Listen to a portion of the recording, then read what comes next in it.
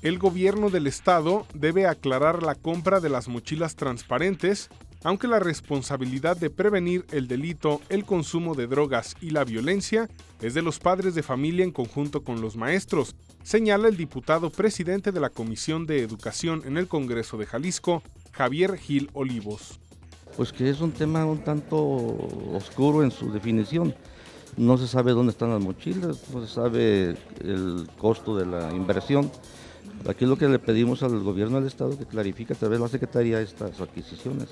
Yo creo que mientras los padres de familia no tengamos la precaución de revisar permanentemente nuestros hijos, pues va a ser para los maestros muy difícil tener un control al interior.